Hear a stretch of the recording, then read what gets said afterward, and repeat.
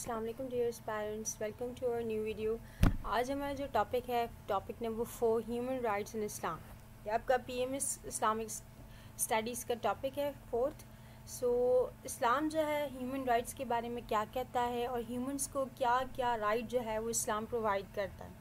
आज हम ये देखेंगे सबसे पहला जो राइट है ह्यूमन राइट्स के हवाले से वो है right of life right of life में सबसे पहले अगर आप इम्पोर्टेंस जानना चाहें इस्लाम के ज़रिए से, या इस्लाम क्या कहता है सो एक हदीस से आप अंदाज़ा लगा सकते हैं कि आपने अगर एक इंसान की जान बचाई तो आपको सारी इंसानियत की जान बचाने का अजर मिलेगा। और अगर आपने एक इंसान की जान ली तो आपको सारी इंसानियत के कत्ल का जो है, वो आपका पनिशमेंट जो है, वो आपकी लिखी जाएगी। तो राइट ऑफ़ लाइफ जो है ह्यूमन को अल्लाह ताला ने इस्लाम जो इस्लाम के ज़रिए जो है वो बताया है कि लाइफ की जो है वो क्या इंपॉर्टेंस है और राइट ऑफ़ लाइफ दिया है। और राइट ऑफ़ लाइफ में आप ये डिस्क्राइब मतलब कि ऐसे समझ सकते हो कि अरब के दौर में लड़कियों को ज़िंदा दरगोर दफन कर दिया जाता था और मतलब कि जिसको भी मारना चाहें, कबाइल के हिसाब से मार देते थे। तो ये जो है उस दौर में था। सो so, इससे हम ये अंदाज़ा लगा सकते हैं कि किसी भी इनोसेंट की जो लाइफ है वो लेना भी जो है वो मना है। फिर आते हैं हम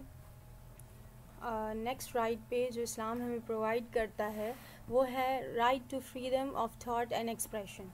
कि आप कुछ भी सोच सकते हो आपको इस चीज़ की आज़ादी है और इसके अलावा जो भी आप एक्सप्रेशंस हैं एक्सप्रेस करना चाहो अपनी फीलिंग्स को तो वो भी कर सकते हो। इस्लाम जो है, बाकायदगी से इनक्रेज करता है फ्री थिंकिंग को और एक्सचेंज ऑफ़ आइडियाज़ को और प्रोहिबिट करता है इम्पोजिशन ऑफ़ बिलीव और अदर्स मतलब कि आप अपना बिलीव जो है, वो किसी और पर थोप नहीं सकते। जिसमें भी ये जब भी कलमा पढ़ा जाता है तो उनसे ये गवाही ली जाती है कि आप दिल से मानते हो कि अल्लाह ताला एक है और ये इनको ज़बरदस्ती, जबर से जो है, वो इस्लाम कबूल नहीं कराया जाता। तो ये जो आजकल की चीज़ें चल रही हैं, जिस जिनमें है कि ज़बरदस्ती इस्लाम कबूल करवाएँ तो ये जो है वो इस्लाम कबूल करवाना सही नहीं है और ना ही इस्लाम जो है वो इन चीज़ों की इजाज़त देता है। फिर नेक्स्ट हम चलते हैं सेकंड राइट पर, हमारा जो है वो है right to freedom of religion हर किसी को अपना रिलीजन जो है वो प्रैक्टिस करने की इजाज़त देता है इस्लाम। ये नहीं कहता कि फ़ोर्सफुली आप इस्लाम को ही फॉलो करें। तो Islam recognises the right of individuals of individuals to choose and practice their own religion तो तभी इस्लाम में जो है वो uh, बाकायदगी से गवाही ली जाती है कि आप दिल से राज़ी हों या नहीं हैं फिर है हमारा fourth right right to equal treatment equally सबको ट्रीट करना ये जो है इस्लाम का मेन जो है वो राइट है और इसी बेस पे बहुत ज़्यादा मतलब फॉर एग्ज़ाम्पल जस्टिस भी जो है वो भी इसी बेस पे किया जाता है और जो अल्लाह अल्लाह ताला भी जो है वो इक्वालिटी और इन चीज़ों पे बेस करके डील करते हैं अपने बंदों से। Islam prohibits discrimination based on race gender religion और nationality and emphasise the equal worth and dignity of all human beings मज़ीद इसको एक्सप्लेन करने की ज़रूरत नहीं है तो हम नेक्स्ट राइट पे चलते हैं। हमारा फिफ्थ राइट जो है इस्लाम जो देता है वो है राइट टू जस्टिस इंसाफ का जो राइट है वो सबके पास है और जिसके साथ भी नाइंसाफ़ी हुई है तो वो अपना जो है मुकदमा जो है वो आ, आ, आ, कर सकता है। फिर है कि Islam emphasise the importance of justice and fair treatment and prohibits oppression and exploitation Islam जो है वो जुल्म बर्दाश्त करने से भी मना करता है क्योंकि उससे जो है ालिम को बहुत ज़्यादा वो मिलती है कि वो ज़्यादा जुल्म कर कर सकता है। अगर मज़लूम जो है कभी कभार वो भी गुनहगार हो सकता है। इस, इस सिचुएशन के वो चुप चुप रहता है अपने लिए बोलता नहीं है। फिर है the right to education education का राइट जो है वो भी इस्लाम देता है जिसमें Islam encourages learning and education and emphasise the importance of seeking knowledge and wisdom वो सेम ही हदीस जो मैंने पहले भी बताई है कि इल्म हासिल करना हर मुसलमान पर फ़र्ज़ होता है चाहे वो मस, आ, मतलब कि मर्द हो या औरत। फिर आता है हमारा राइट टू प्राइवेसी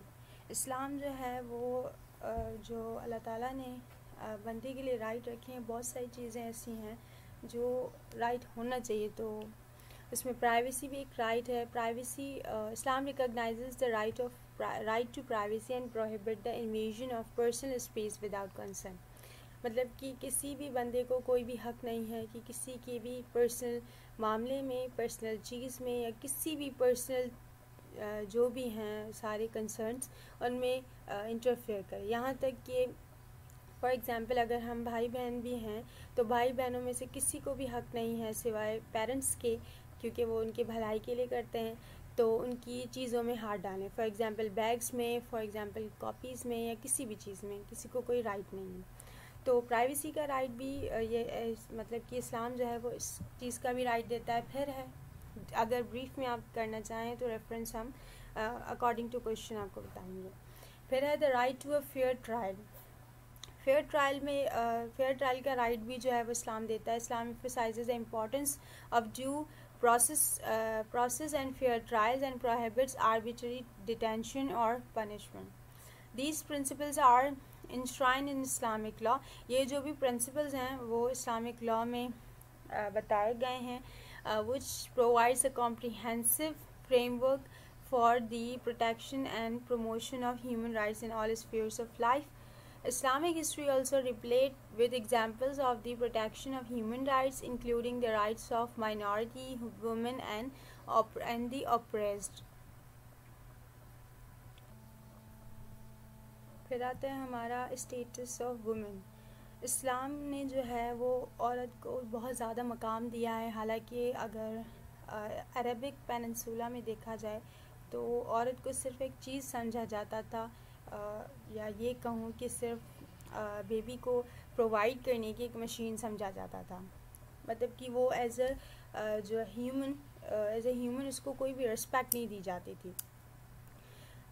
इस्लाम ने जो है वो औरत को बाकायदगी से इज़्ज़त एहतराम और उसके जो भी हकूक़ जो वो आ, उसके लिए हैं वो फॉर एग्ज़ाम्पल विरासत के हकूक़ हो गए जेंडर इक्वालिटी हो गई और उसके लिए जो भी राइट्स हैं जैसे वाइफ के राइट डॉटर के राइट और बहन के राइट बेटी के राइट तो सारे जो राइट्स हैं वो इस्लाम जो है वो प्रोवाइड करता है। उसने प्रोवाइड किए हैं औरत को। Islam recognise the inherent dignity and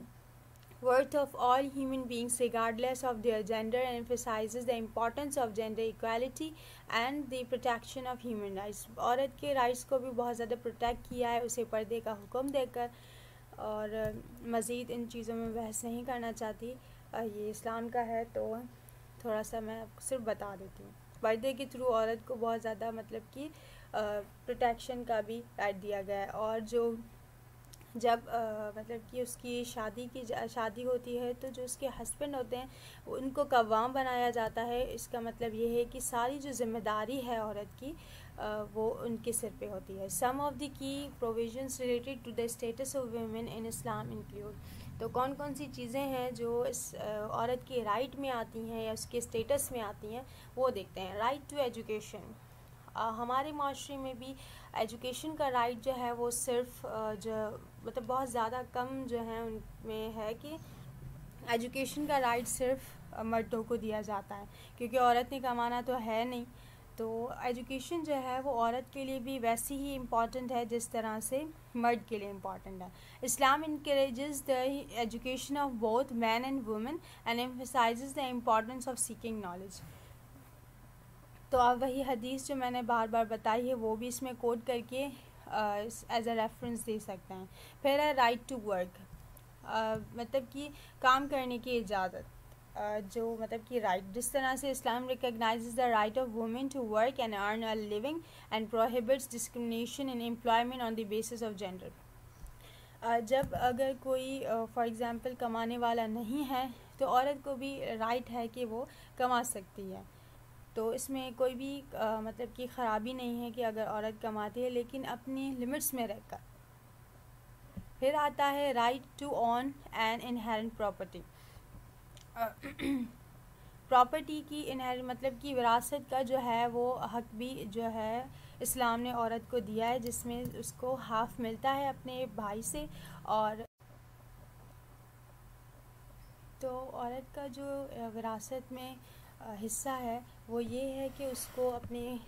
जो भी फॉर एग्ज़ाम्पल अगर किसी की विरासत है तो उसकी एक बेटी है दो बेटे हैं तो दो बेटों को फुल फुल हिस्सा और जो हाफ़ हिस्सा है, वो लड़की को मिलेगा। वो इसलिए मतलब कि लड़कियाँ कहते हैं कि क्यों भला हमें हाफ़ मिलता है? तो इस पर भी आपको एतराज़ नहीं करना चाहिए, क्योंकि आपको एट परसेंट जो है वो अपने हस्बैंड की तरफ़ से जो है उनको मिलता है। तो इसमें भी अल्लाह ताला की कोई हिकमत होगी। इसके बाद है जो औरत को राइट है, वो है right to marry and choose a spouse spouse choose करने का भी इस्लाम हुक्म देता है, क्योंकि अगर जिस तरह से लड़के से पूछा जाता है, उसी तरह से लड़कियों से भी पूछने का जो है वो हुक्म है। तो आप ने भी जिस तरह से हमें पूरा बताया है कि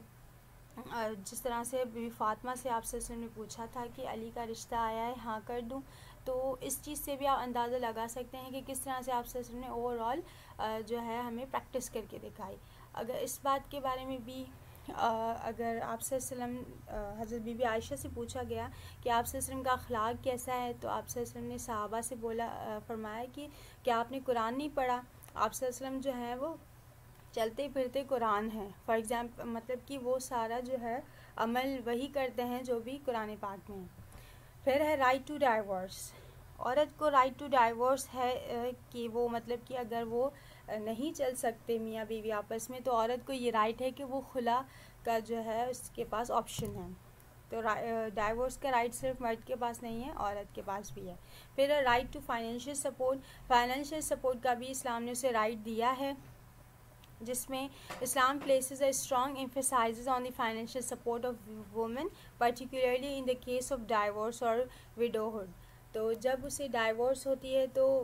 उसमें भी आ, उसमें भी हुक्म है कि वो जो हस्बैंड है वो उसे ऐसा तरीके से अगर उसका बच्चा है तो वो ऐसा तरीके से उसको दूध पिलाई भी देगा। वो अलग मैटर है लेकिन ऐसा तरीके से उसे जो है उसके घर छोड़ कर आएगा। ना कि इल्ज़ाम लगा कर और धक्के देकर जिस तरह से आजकल के माशरों में होता है तो ये जो है वो इस्लाम का हुक्म नहीं है।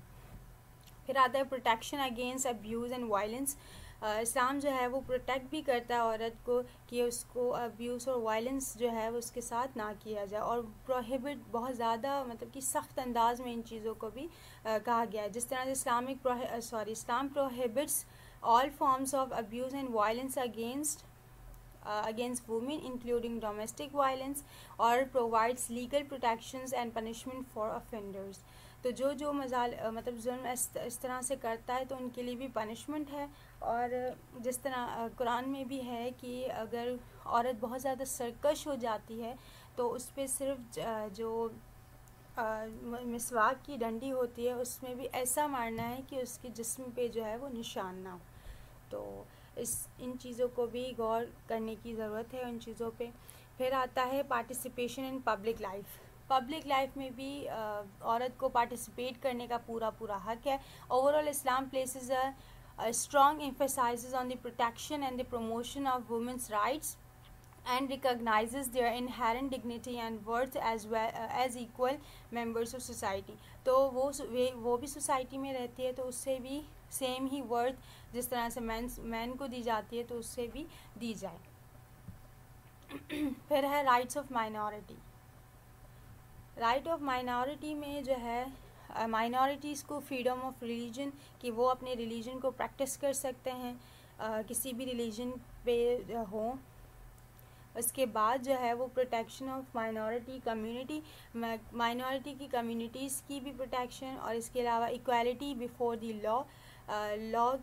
से पहले जो है इक्वालिटी की बेस पे फैसले किए जाएँ और फिर फिर है participation in public life same as जिस तरह से कुछ माइनॉरिटीज़ को राइट नहीं दिए जाते वुमेंस की तरह तो उनको भी जो है वो राइट दिए जाएँ। तो फर्दर हम इसमें थोड़ा सा डिटेल में डिस्कस करते हैं कि फ्रीडम ऑफ़ रिलीजन कैसे है। Islam recognises the right of individuals to choose and practice their own religion and prohibits coercion or persecution of minorities on the basis of their religion. So so, Islam जो है वो minorities uh, को उन uh, मतलब कि उनकी religion को practice करने की फुल उन्हें इजाज़त देता है और मतलब कि uh, कोई भी प्रोसिक्यूशन और चीज़ें नहीं लगाता ठीक है? उसके बाद है प्रोटेक्शन ऑफ़ माइनॉरिटी कम्युनिटी देख लेते हैं थोड़ी से डिटेल में। Islam requires Muslims to protect and defend their rights of minority community जो भी माइनॉरिटी uh, में कम्युनिटीज़ हैं चाहे वो कम्युनिटी जिस तरह से अगर एग्ज़ाम्पल लिया जाए मदीना में जो कम्युनिटीज़ थी फॉर एग्ज़ाम्पल यहूद की थी या क्रिश्चियंस की थी तो उनको ये नहीं कहा जाता था कि आप मुस्लिम बन जाएँ ज़बरदस्ती से या फिर बाकायदगी से उन सबको मिलाया गया और उनके उनकी प्रोटेक्शन के लिए भी बहुत ज़्यादा जो है वो आप ने कुछ माहदे बनाए जिनमें मिसा के मदीना में भी आ, कुछ उनके राइट्स हैं कि हम जो जब भी मदीना पे कोई प्रॉब्लम आएगी तो हम सब मिलकर मदीना को प्रोटेक्ट करेंगे। तो इनमें उनकी भी जान की प्रोटेक्शन थी उनके जो आ, माल और अहलोयाल थे उनकी भी प्रोटेक्शन थी। तो ये एग्ज़ाम्पल भी आप इसमें इंक्लूड कर सकते हैं including their places of worship culture heritage and social customs तो जो भी उनके वर्शिप की प्लेसेस हैं, उनको भी नुकसान नहीं पहुंचाना, उनके कल्चर में भी हमें इंटरफेयर नहीं करना। और मतलब एज अ मुस्लिम की बात कर रही हूँ, और उसके अलावा सोशल जो भी कस्टम्स हैं, उनकी भी प्रोटेक्शन करनी है। फिर है equality before the law law से पहले जो है हमें एक जो मतलब मुस्लिम इस्लाम जो कहता है कि वो इक्वालिटी की बेस में मामला किए जाएँ। Islam emphasise the importance of equality before the law and prohibits discrimination on the basis of religion race और नेशनैलिटी फिर आता है at the last participation in public life public life में जो पार्टिसिपेशन है minorities की Islam recognizes the right of minority to participate in public life and contribute to society including in political and social spheres तो political और social spheres में भी इस्लाम जो है वो दूसरों को इनक्रेज करता है कि आप जो हैं वो उसमें अपनी खिदमत सर अंजाम दें ना कि वो उनको रिग्रेट करता है सो so, मुस्लिम्स को भी इन राइट्स को और मतलब कि हम भी एज ए मुस्लिम राइट्स को देखें और इन पर अमल करने की कोशिश करें ताकि हमारा जो स्टेट है वो बहुत ज़्यादा तरक्की याफ्ता बने। So that's all for this fourth topic if you have any question regarding this then you can comment comment section if you like our video they like, share and subscribe our channel. Thank you.